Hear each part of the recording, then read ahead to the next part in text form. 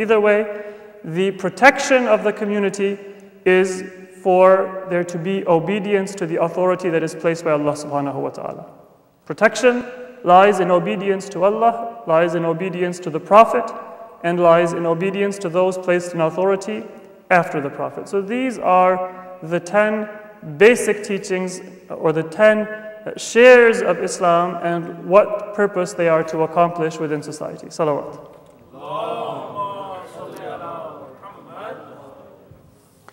So, with that, we will move now to another section or group of ahadith, and this is also something which we have many ahadith about, but we will just look at one or two that are illustrative of some of the principles that the Imams emphasized for their followers.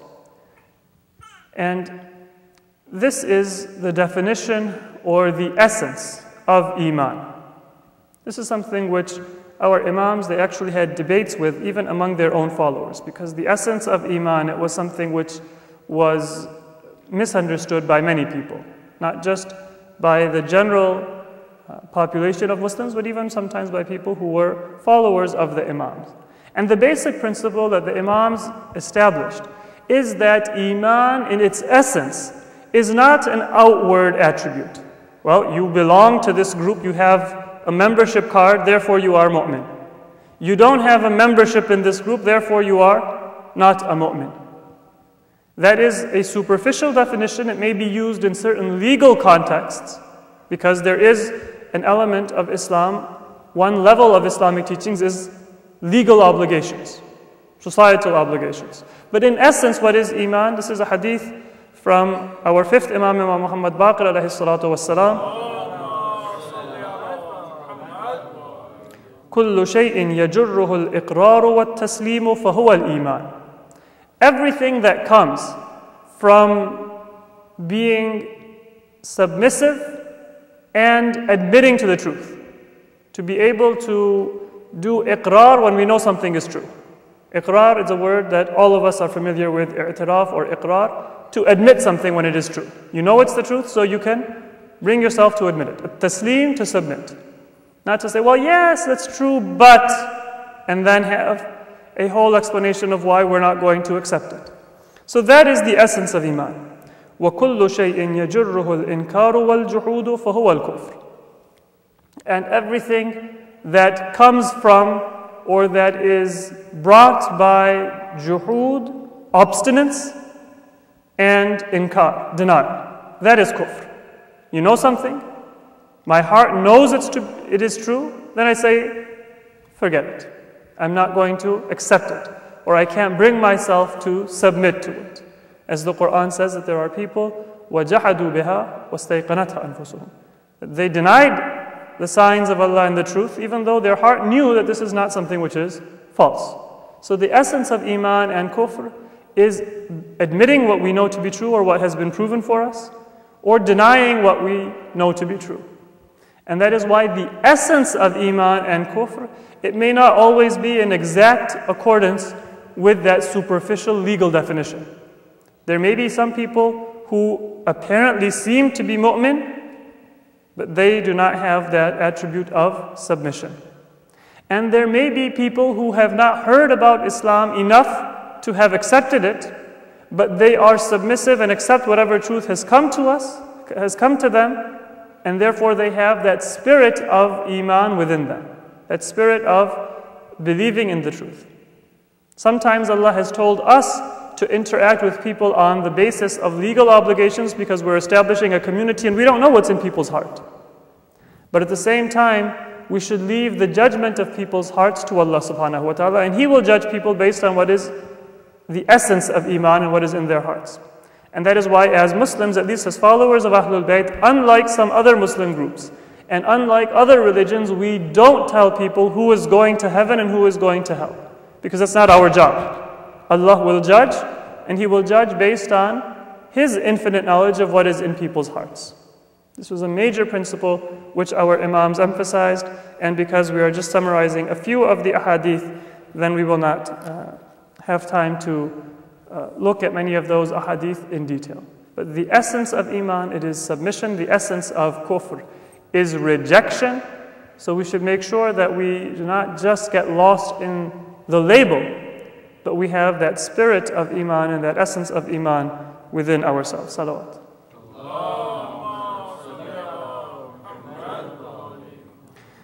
And we have time for one more hadith. This is a hadith in which our sixth Imam mentions the uh, effect of major sins on a person's life. There are some sins which in Islam we know of as major sins. Different definitions have been given by ulama. Either those sins which Allah has given a promise that He will punish them because they are so severe, or sins that are mentioned in the Quran specifically, or other definitions that have been given. But those major sins, some of which are very clear and agreed upon, like uh, infidelity, like uh, murder, these kinds of major sins. What does the effect that these what is the effect these sins have on a person's faith? this goes back to a debate that existed in early Islam. Some people said that if a person commits a major sin, they're no longer a Muslim. This was the belief of some Muslims. Others said that whatever a person does, they're still a mu'min, their belief makes them a mu'min, and their sin, that then is something that Allah will decide about. But it has no effect on their faith. This was the group known as the Murji'ah, the Murji'ites. So the Imams, they had a balanced and a teaching that was somewhere in the middle.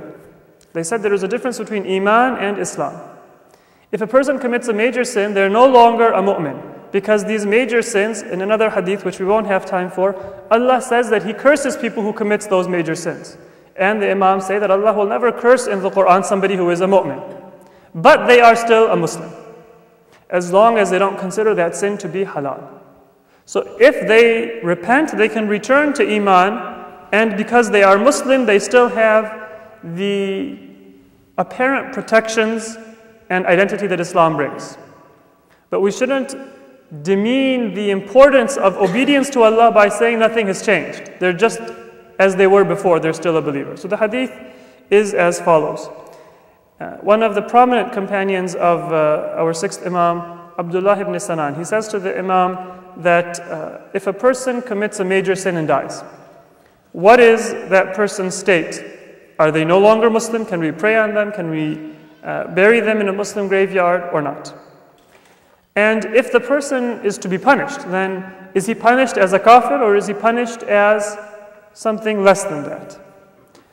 So the Imam replied that من ارتكب كبيرة من الكبائر فزعم أنها حلال if a person does a major sin and says that this is permissible, أخرجه ذلك من الإسلام. That person is not a Muslim. If you commit a major sin and you say that, well, it's not part of Islam, then you have denied a tenet of Islam. وَعُذِّبَ أَشَدَّ الْعَذَابِ And that person will be punished the harshest punishment, just like unbelievers. وَإِنْ كَانَ مُعْتَرِفًا أَنَّهُ ذَنْبٌ but if the person believes that yes, this is a sin, it is improper, وَمَاتَ عَلَيْهِ But they, prefer, they still make the mistake, they fall to temptation, and they were not able to repent. Another ahadith it mentions that if a person repents, then they can return to the state of iman, the higher state. But if they don't repent, أخرجه من الإيمان ولم يخرجه من الإسلام. That takes them out of iman, but it doesn't take them out of Islam. So in terms of how you are to deal with them, their body, their final remains, their wasiyat, their inheritance, their family, and all of those areas, you are still to treat them as a Muslim. وَكَانَ عَذَابُهُ أَهْوَنَ مِنْ عَذَابِ الْأَوَّلِ And in this case, Allah subhanahu wa ta'ala also will not punish them that severe punishment that He would punish a person who denies the truth. So here the Imams, they mention what is the proper understanding of the nature of sin. There is always a path of return, but we should not take it lightly for ourselves or for others. It does remove a person from Iman and it brings them down to that border where they are within the border of Islam, but they are not regarded by Allah as a mu'min. They are not worthy of those special blessings that Allah has for the mu'mineen. Inshallah, in the coming weeks, we will continue with a few more ahadith regarding